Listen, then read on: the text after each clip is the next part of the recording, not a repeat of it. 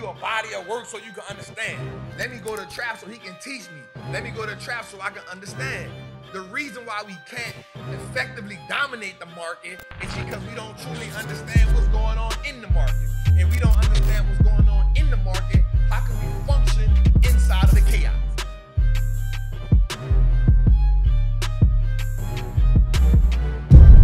All right, so watch this. So if I'm not mistaken, 4218 was our first level. That's what, that's what we eyeballed last week, right? 4218 was our first level. And then 4202 was our next level historically. Now, the thing was, the issue was, I think we got to 4224. I think that's what we got to. We got to 4224. This was our level. We got to 4224. That was our level. Now, the thing was, if we passed up 4218, our next level was 4202. The problem with that is, if we would have got down to 40, if once we break this, we know we're in trouble. Once we break this, we know we're in trouble because now everywhere between here is chaos. Everything between here is chaos. Why is that chaos? Because the range between 4218 and 4202 is now becomes unfamiliar territory back to January. You feel me? Yep, all the same neighborhood, 100%. So anything between 4218, if once we break 4218, the next support level is here.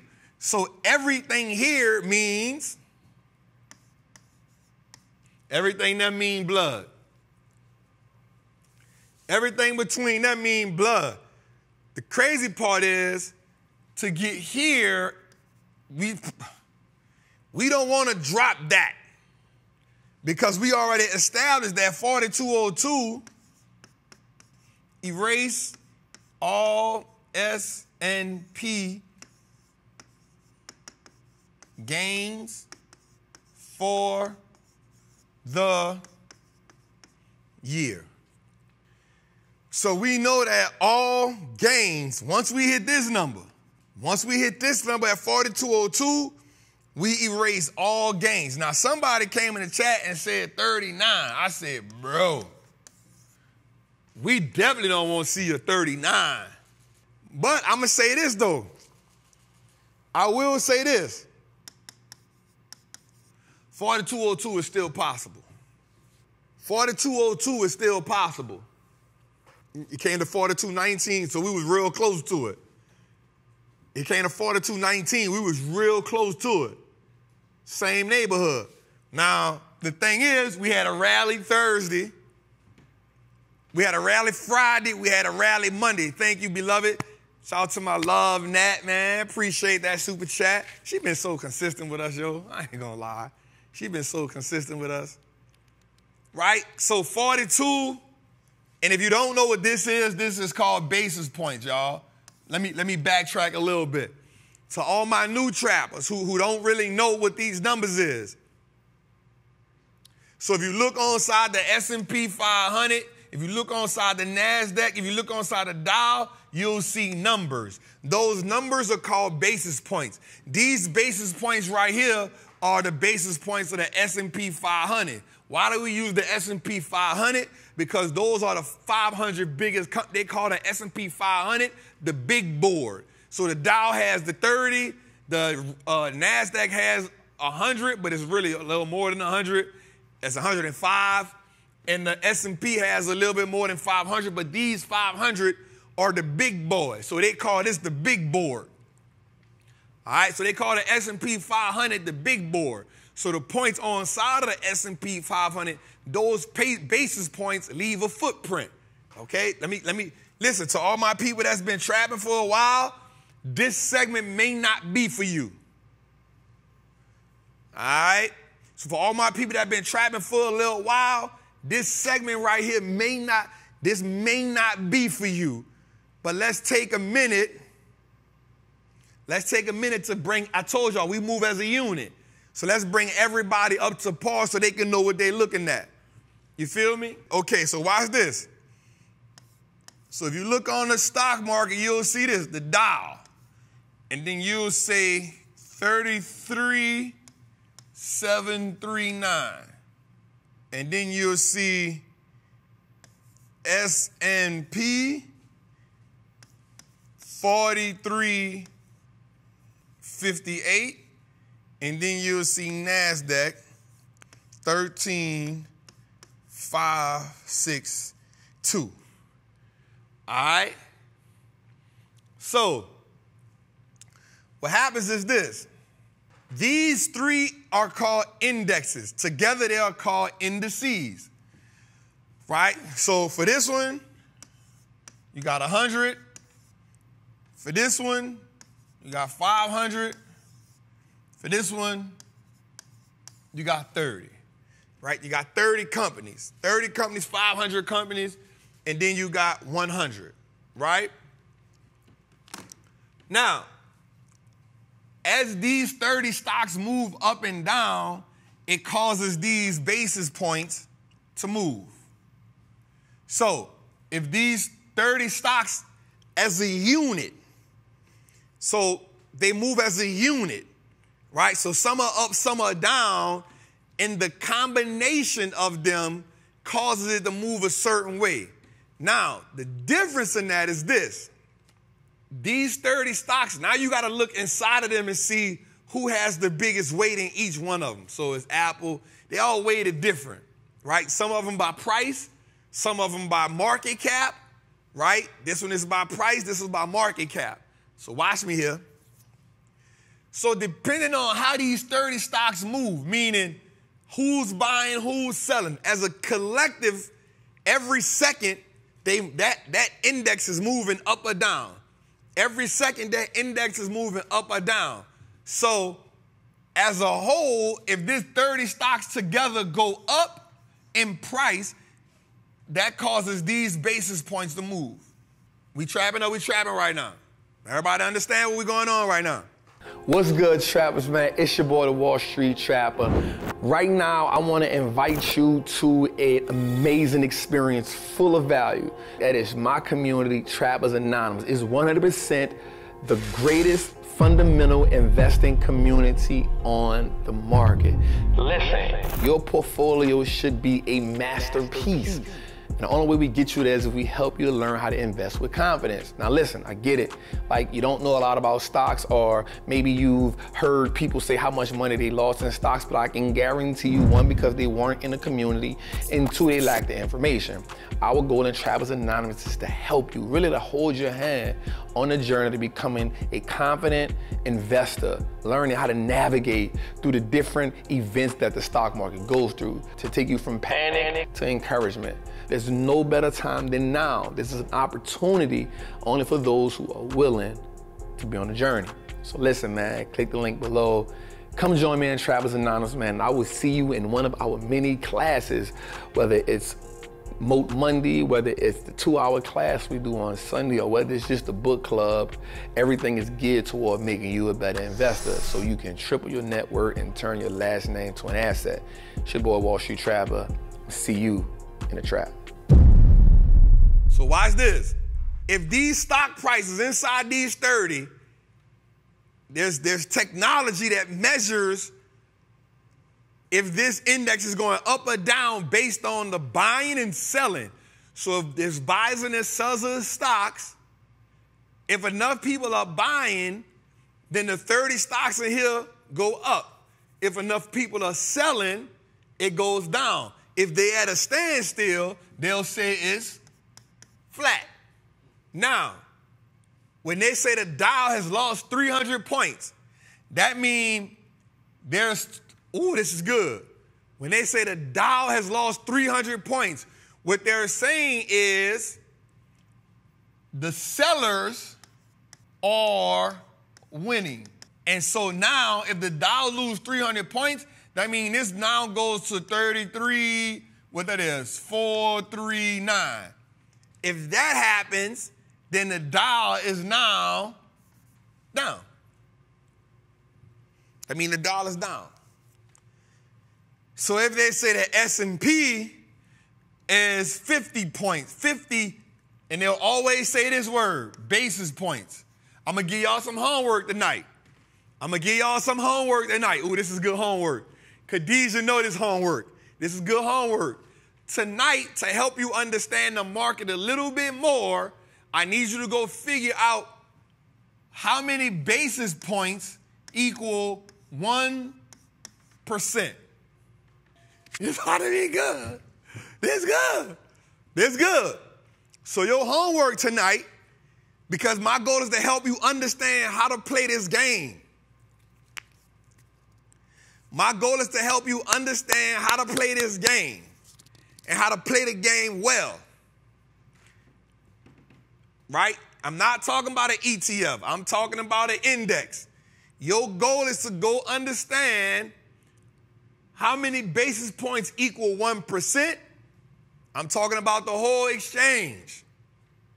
Talking about the whole Dow, the whole S&P, the whole NASDAQ. Talking about a whole exchange. I'm not talking about an index. I'm not talking about one ETF. I'm talking about an entire exchange. So when they tell you that the, the Dow Jones has lost 400 point basis points, you can say, okay, well, that is such and such percent. I'm okay. Now here's what happens. A 400 point move down on the Dow doesn't mean the S&P 500 or the Nasdaq is down. 400 basis points don't equal 4% on the Nasdaq. I mean on the Dow Jones. Here's what I need you to understand. I'm glad I said that like that. Watch this. Because every index is weighted differently, a 400 point move, a 400 basis point move here doesn't equate to the same thing as a 400 move here. Because watch this, 400, 400 basis points in the S&P, you got a problem. If the S&P loses 400 points in a day, if the S&P loses 200 points in a day, we got a problem. So we talking about in one day, if the S&P lose 200 points in one day, you got a problem. You got a serious problem. But you, the Dow can lose 400, 200 points, 300 points in a day, and it don't even be, it'd be like, all right, the Dow is down 200 points. I bet. So once you go learn what this, I need y'all to let me get the homework out. Once you go learn what the basis points is, percent wise, now you need to go learn how every index is weighed. Because they all weigh different. They all move different. You might hear the S&P has lost 0.67%, but that thing bloody. that thing lose the S watch this. The S&P can lose 1% and it be it's bloody. But the Dow can drop 300 points and you'd be like, I bet. You got to remember. You got to remember.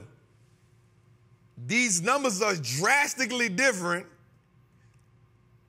The basis points are drastically different.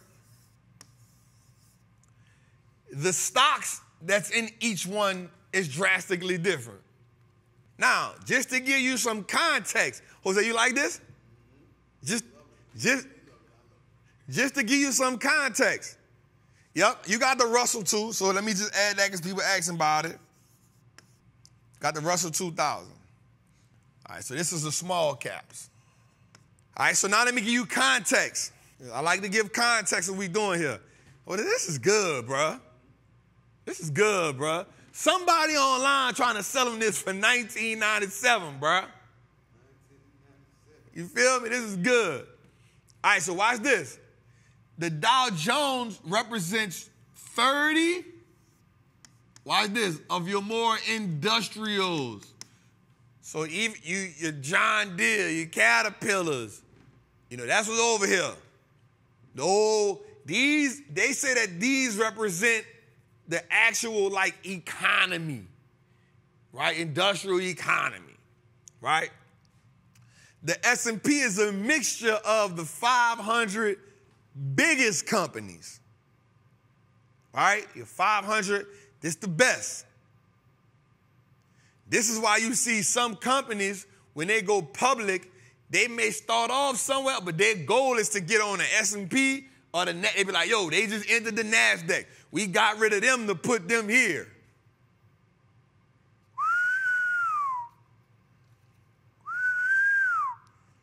All right, watch this. And then you got the NASDAQ. So this represents mostly technology stocks. Now, it is 89% technology, and the other, what, 11% is a mixture of some other stuff. Banking, finances, you got some other stuff in there. It is about 89% technology. That's why when you see Apple, Google, Microsoft, Nvidia, when you see all the tech stocks running, you're gonna see three things that's gonna go crazy. Q, Q, Q, X, L, K. That's what you're gonna see go crazy. You're gonna see that go crazy. So when you see this going crazy, you can always partner them two with it. Ooh, we cooking. Ooh. We cooking right now. We cooking right now. So when you see this going crazy, you can almost bet that this going crazy and probably, now I'm gonna tell you something. SMH. Oh, so when you see QQQ, XLK, when you see the NASDAQ going crazy, you can bet them two going crazy. Now let me help you out though. If you see NVIDIA, Watch this. If you see NVIDIA, AMD, and Broadcom doing good, then you also know that SMH is going crazy too. Yo, I'm giving this is crazy. This is crazy. This is crazy. This is crazy. Khadija, yep, I Khadija should know this like the back of her hand. Right? So I'm giving you an idea. So if you see QQQ XLK doing good, then you probably know the NASDAQ doing good because they represent the technology. If you see NVIDIA, AMD, and AVGO doing good, you probably already understand that SMH is doing good and also XOL is doing probably good too. SOXL, probably doing good too. Not so much TSMC, they don't really be moving too much. Right? Now, I'm gonna tell you something. Apple is a dragger. Apple is a dragger. The reason why Apple is a dragger is because it's so big, it drags this and this, but it doesn't necessarily drag the NASDAQ. And the reason why I don't drag the NASDAQ is because you also have Microsoft pushing, you also have you have so many other pushers inside of there to where it doesn't drag it as much. But I will say this, anytime you see this, anytime you see both of them down, it's a good chance they're gonna drag the market together. Because these the biggest. Anytime them two down, it's a good chance that one of those indexes are down together. So y'all homework before we get back to what we doing. You got to go figure out what one basis point equal. And once you figure out what one basis point equal, you got to figure out how that equates to each index. So now when they tell you the Dow Jones is down 400%, you, I mean, 400, 400%, Jesus Christ, 400%, let's all go inside. Grab the guns, they shoot. 400%, it's over. Ain't no more market. you feel me? But the market, 400 basis points, You need to know how many, if 400 basis points, what does 400 basis points equal a move in the Dow? What does a 1% equal move basis points in the NASDAQ? What does 1% mean inside of the S&P 500? All right, all my, all my, all my, all my advanced people, y'all already knew it. But all of my new people, we just gave you an amazing idea. We gave you an amazing concept on how to play this game. For me, it's all about teaching you not just how to buy stocks, but we need to, again, we're not just on a rudimentary level here, right? And the goal is to bring everybody up to par so we all can see the game and understand, oh, 200 points, I don't got to panic. That's not even, you know what I'm saying? 200 points on the dial, I bet. That ain't 1%. I uh, 1% on the S&P is so if you understand how these basis points and these percents move, now you understand you can gauge how the market is moving. All right, let's go.